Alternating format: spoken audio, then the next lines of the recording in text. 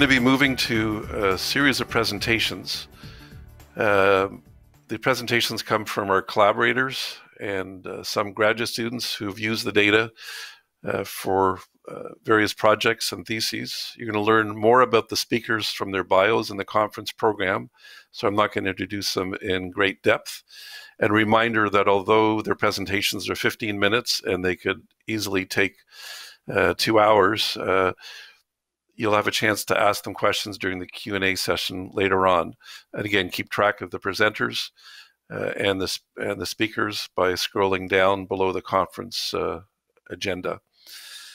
I'd like to introduce the first three speakers uh, laura olszowy um, psychologist for the thames valley school board mike saxton who's a psychologist with kinark child and family services and catherine reif psychologist with london family court clinic uh, all three are my former PhD students and now uh, practicing as psychologists. And I think Mike's going to start.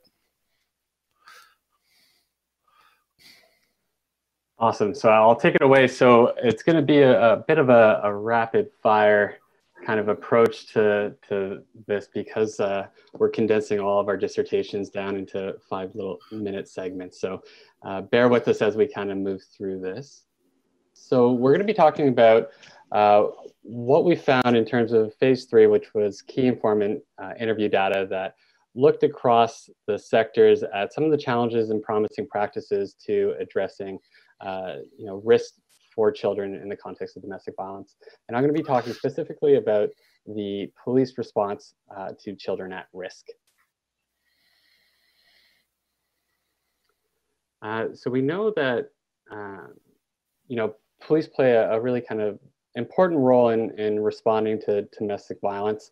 Um, they often are uh, the first uh, public agents that become aware of, you know, a very uh, secretive and private kind of sphere and often have a very unique role in that they have an obligation to, to act and intervene to protect families and, and children uh, in that regard.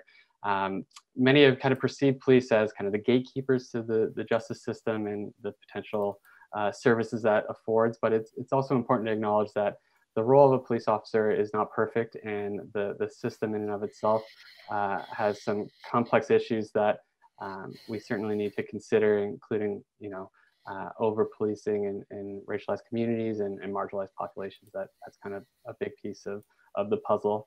Um, when we look specifically at the research on the police response to, to children in the context of domestic violence, um, there really is little that has been done to date. The, the research that is present uh, really shows that police are often overlooking uh, children's needs and, and risks um, and often sidelining them uh, in that regard.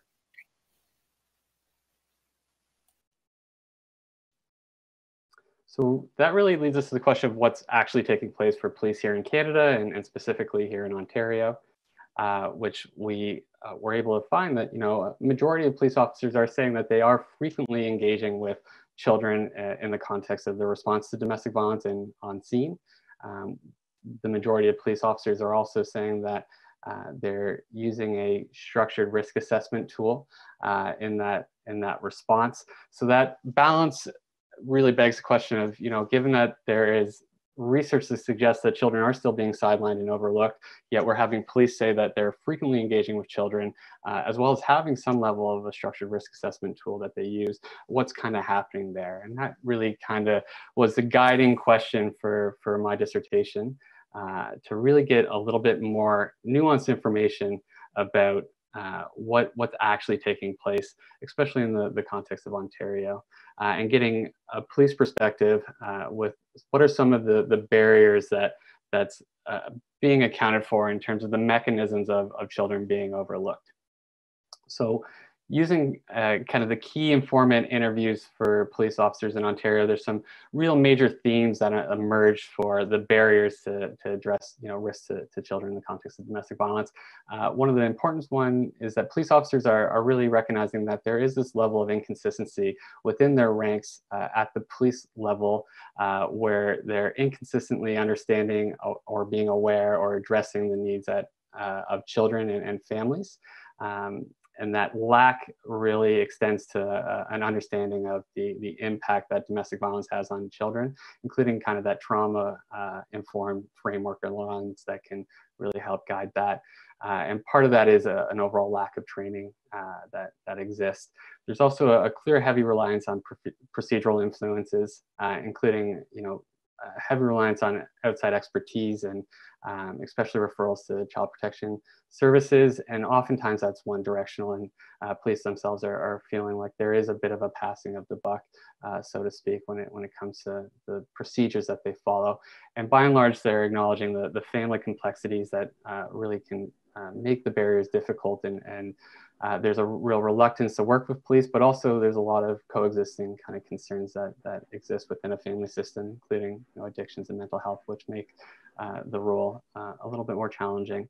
Um, in, in, terms of when we look at some of the recommendations for change, police officers are, are really, uh, again, acknowledging the, the, importance of collaboration, that having protocols with other agencies uh, that are specific to, to sharing information uh, and having addendums for that privacy pieces and uh, really having those relationships with specialized services for children uh, and specialized services for adults is really paramount in helping understand and, and appropriately and effectively address domestic violence within a family system. Clear for many of the police officers is uh, that there is this need for DV oversight uh, with having specialized units who can really help with uh, guide uh, more effective and consistent uh, approaches towards addressing children uh, within the context of domestic violence and of course continued need for, for training and enhanced training. So really the, the key takeaway is that you know police themselves are recognizing the need uh, for further training, but they're also recognizing that there is inconsistency in, in approaches within their own ranks, uh, and to really work towards filling those gaps is is the need for collaboration. Uh, and there's an overall acknowledgement that you know police can do a better job, uh, but they can't do it alone. And there's a real need for for everyone to kind of come together. Uh, so that's kind of the overview. So I'm going to throw it over to to Kay at this point to to take over from here. All right, uh, thanks, Mike. Um, so Mike has focused on the police response and perspectives uh, when it comes to children exposed to domestic violence. Uh, I will be focusing more on talking about service pr provision for children uh, within violence against women agencies. Um, so just to get a sense of what some of these agencies look like, um, so, violence against women programs and services include emergency shelters, uh, crisis and support services, counseling services, and province wide crisis helplines. Uh, domestic violence shelters are a common service within the sector uh, that's provided to women and children who have experienced domestic violence, um, and they offer protection to, to women and children who are fleeing from, from the violence. Uh, emergency shelters provide crisis um, short term services with longer term options that can include uh, transitional and permanent housing. And just to give you a sense of some of the, the numbers, uh, so by 2014, there were 627 shelters in Canada. Um, and in Ontario, Canada's largest province with well over uh, 14 million uh, people, there are 100 organizations that provide some form of domestic violence services. Um, so when we look at the populations of shelters, a significant amount of, of them are comprised of children and youth. Uh, just to give you a sense of some of these numbers, uh, according to a one day snapshot survey of shelters in Canada that was conducted on April 18th, 2018, uh, there were 3,137 children who accompanied 3,565 women uh, to shelters across the country. Uh, so given that such a considerable number of shelter residents are children, uh, one of the key questions that my uh, dissertation sought to address um, is what are the barriers to providing uh, child-specific services within violence against women agencies? Uh, so the way that my research was conducted, um, I analyzed interviews conducted with violence against women service providers um, who either worked with children directly or worked in an agency that had uh, these services available for children.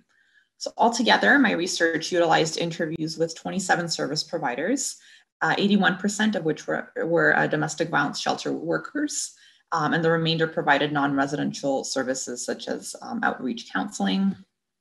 And really, this was an examination of what are some of those barriers to service provision um, specific to children, uh, particularly regarding risk assessment, risk management, and safety planning. Uh, so based on my analysis of these interviews, um, which were transcribed and then coded, um, some of the frequently occurring themes that emerged uh, were with respect to agency-related barriers, client-related barriers, and systemic barriers. So just taking a look at some of the agency-related barriers, some of those that emerged uh, were with respect to lack of resources, uh, such as lack of funding within agencies, um, the short-term nature of some of the services, as well as lack of uh, child-specific workers um, at, at, these agencies. Another barrier that emerged was a lack of training, particularly with respect to safety planning practices. Um, and there was overall a lack of risk assessment and risk management practices uh, within these agencies that were um, specific to children. In terms of some of the client related barriers, um, some of these were uh, financial constraints. Um, so clients being unable to afford counseling services uh, that were available, um, a lack of awareness of the impact of domestic violence on children, as well as a general mistrust of service providers uh, by both victims and children, or an ambivalence towards uh, having children participating in these services.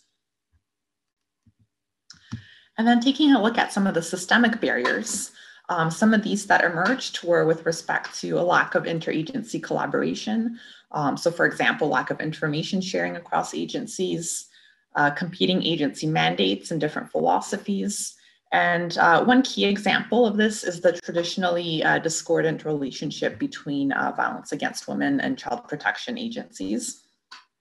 As well, um, generally there was consensus that there's a lack of services for children uh, within the community, um, such as counseling specific to exposure to domestic violence and, and follow-up services. So altogether, uh, my research has found that overall, um, violence against women workers are certainly dedicated to helping their clients. Um, however, they are limited by barriers uh, both within and outside of their agency. So thanks. I'm going to be talking about um, my results with uh, interviews with, with child protection services workers. Um, and in terms of um, kind of a, an overview, we know that Child Protection Services has a has a role um, for families living with uh, domestic violence, and it, and it can, in terms of their mandate, um, they're central to assessing risk, and you know for uh, children living with domestic violence that might be considered a form of emotional maltreatment and trigger a mandatory report to child protection. And child protection is a unique um, authority within families, and the execution of this role might vary widely across um, jurisdictions. In terms of, um, there has been some criticism in terms of the child protection response that in that it's been varied and inconsistent um, and we know that it's a complex area domestic violence is one of many factors to consider uh, for child risk um, for, ch- for workers. Um, and it's particularly challenging when there's no direct evidence of uh, physical harm to children. Child protection workers are uniquely positioned to intervene with fathers, um, but mothers are, are more often held responsible for the supervision and safety of, of their children. So I wanted to better understand um, um, what child protection workers were reporting as barriers um, in, in engaging in um, assessing risk. So I looked at um, interviews with, with uh, 29 workers from, from 19 different ag- agencies across Canada. And um, from from the interviews, um, various themes were were developed at the individual, the organizational, and the systemic level. Um, in terms of at the individual level, uh, workers identified um, barriers um, that existed between relationships um, between themselves and, and clients um, in terms of uh, being able to work effectively with them. Um, they also noted, noted um, barriers at within their own um, profession that that was challenging for them to to do their work. And and ultimately, at the end of the day, workers can have their own style, but they have to do proper risk assessment. At the organizational level, um, there were differences in the way um, organizations were set up to, you know, that translated some of the legislation and, and standards into their practice on on the front line. Um, and in terms of systemic level challenges, um, mostly, you know, there were reports of, of lack of, of resources, um, difficulties in, in the way the child protection system was set up in terms of the conceptualization of who poses the, the child protection risk and, and thus who would be the focus of child protection interventions and, and risk management plans. Um, in terms, you know, inter, interviewees identified lots of promising practices um, in terms of, you know, collaboration, protocols, enhanced training, um, and, and shifts in, in paradigm. Um, and ultimately, you know, um, child protection has a, a unique context and they have to balance the needs of parents and while also ensuring they are following their mandate to protect children. It's complicated, not one size um, fits all, but we need these things to, to be in, in place in order to ensure family and, and victim and children safety. And, and ultimately, I think together, um, our research has demonstrated that no one sector, you know, can, can do it alone. Um, and we need communities and service providers have to come together at the front and higher front line and, and higher levels to determine what works for them to keep families safe and continued efforts to re- improve system responses to domestic violence hold the hope that there will be a significant reduction in domestic homicides.